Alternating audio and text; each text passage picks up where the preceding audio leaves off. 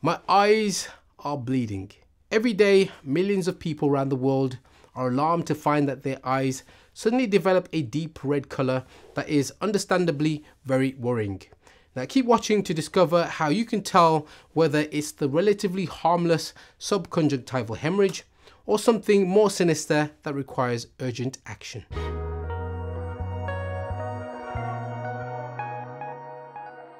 Hey, welcome back. And if you're new here, I'm optometrist Martin Oguzie, and this channel is all about helping you to see better, see more comfortably, and keeping your eyes precious.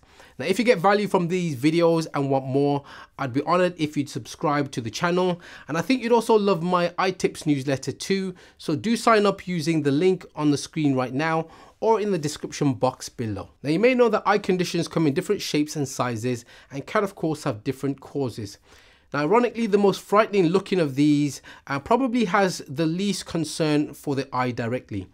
That is a subconjunctival hemorrhage. It's a highly dramatic looking bleed over the white of the eye and comes from the blood vessels that have burst in the space between the white of the eye and the protective clear membrane that we call the conjunctiva. The reason that subconjunctival hemorrhages can look so angry and red, making the eye look like a piece of steak, is because the blood spreads widely within the subconjunctival space, making it look so much worse than it actually is. So is it serious? Well, compared to other red eye or pink eye conditions, uh, a subconjunctival hemorrhage is not serious in as far as it will not need treatment directly and will clear up all by itself. Now, as the blood drains away, the appearance of the eye will fade from an intense red to more yellow and then eventually whitening up in about two weeks or so, depending how severe the initial bleed was. The next question you're probably asking yourself is, how can you tell it apart from other red eye conditions and generally, when it comes to eyes and red eyes in particular, we're concerned about anything that might uh, be an indication of inflammation going on in the eye or infection as well. So these conditions uh, may present with other symptoms such as discomfort, pain, increased sensitivity to light, glare, discharge from the eyes and visual changes and other things. Now typically a subconjunctival hemorrhage won't have any of these uh, symptoms except perhaps some slight irritation in some cases. Now the irritation arises usually from there being so much blood in that conjunctival space that we talked about that the surface of the eye uh, is no longer flat and smooth, causing blinking to irritate the eye or causing dryness of the eyes because the surface is not flat and tears don't spread evenly over the surface as it normally would. These mild symptoms resolve over the next few days and in fact uh, the characteristic of a subconjunctival hemorrhage is often in most situations that you won't feel anything at all and that uh, the red eye is often something that other people notice before you notice yourself. Or you happen to have a look in the mirror and notice that you've got this completely red eye or a section of the eye that is red. So what causes a subconjunctival hemorrhage? Well, the most sinister cause to rule out is cardiovascular problems or raised blood pressure, particularly if this happens quite often and on a repeated basis. I recommend that you get your family doctor to check you over if you've not had this done for some time or if you've not had a medical of any kind in recent memory. Now, alternatively, in the first instance, you can measure your blood pressure at home yourself and contact your doctor if it appears higher than it typically would.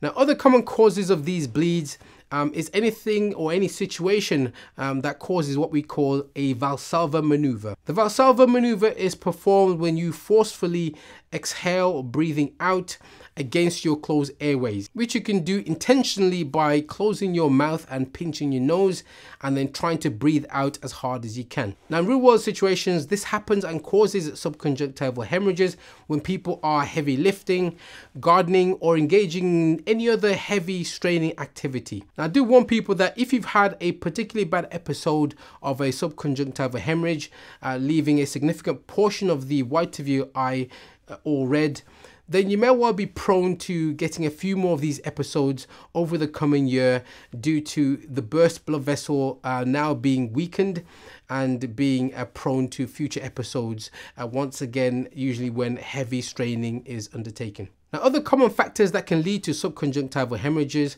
include the use of blood thinning drugs. So regular use of non-prescription items that have blood thinning properties also, such as omega-3s, uh, can also contribute to this as well. And particularly if you're using um, anticoagulant medications along with omega-3s. Really, you should consult your doctor if you're going to do this because both of these obviously then can contribute to thinning your blood more than your doctor expects. And lastly, sometimes we just can't really identify or pinpoint why you're getting these burst blood vessels. And this may just be uh, a situation where, like many other kind of medical conditions and things that happen, there's no clear underlying cause. And when an explanation can't be found, then the most important thing is for the major um, problematic causes such as high blood pressure, for those kind of things to be ruled out. Now, of course, if you get a red eye of any type and you have any doubt, and certainly if you're getting any symptoms at all, then it's worth contacting your optometrist or your ophthalmologist for further guidance. Now, fortunately or unfortunately, the appearance of a subconjunctival hemorrhage is so alarming to most people that they quickly go out and seek professional help anyway. And this is perfectly fine and just means that we get the opportunity to rule out anything more sinister going on, like an inflammatory condition or a, a bacterial infection or viral infection of some kind. Now, if it is just that red appearance of the eye with no other symptoms, then you should find that the redness starts to fade very quickly in the next few days, uh, which is definitely a good sign.